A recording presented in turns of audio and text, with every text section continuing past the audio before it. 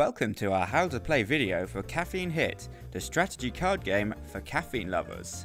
The aim of the game is to be the most caffeinated by placing a variety of drinks cards on your table. There are 6 different types of drink cards and 5 different action cards. Those are the red ones. To start the game, remove the turn and reference cards and give the remaining deck a good shuffle. Deal 5 cards each and give each player a turn card. This is a handy reference of what you can do on your turn. When it's your go, you have 4 options. The first is to boost your score by placing up to 5 drinks of the same colour on your table. If you feel like making enemies, you can attack another player by placing up to 2 drinks of the same colour onto their table. You can use the decaffeinated cards to do this.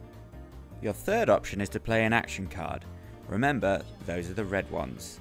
Let's pause and have a look at how those work now. With a drink spill, you can take any drink card from your or an opponent's table and put it in the discard pile. Oops.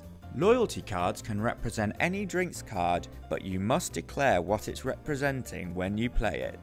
With to-go cups, you can hide up to 4 drinks of the same colour and place them on your table in secret. Complimentary cookies can be placed on any single orange or green card to double its points. That means extra negative points on a green card. Finally, a drinks carrier means you can play twice on your turn before refilling your hand. This means you can place two colours of drinks cards on your turn. Let's finish talking about what you can do on your turn. If you don't like your hand, then you can throw away up to three cards and then refill your hand from the draw pile. After playing your turn, you should always have 5 cards. Play then moves on to the left. Once the draw pile is empty, continue playing until one of the players runs out of cards in their hand. At this point, everybody else must throw away any cards they're still holding and move on to scoring. Green decaffeinated cards and orange tea cards simply score the points on the top of the card when you place them on your table.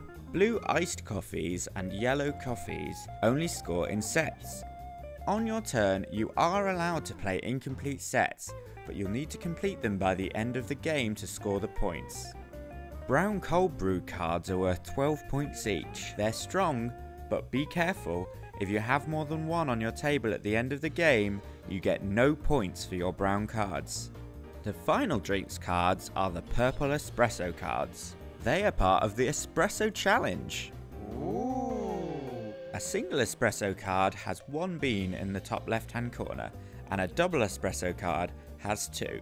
The person with the most beans on their table at the end of the game wins the espresso challenge and is awarded 12 points. Everybody else gets no points for their purple cards. Oh no.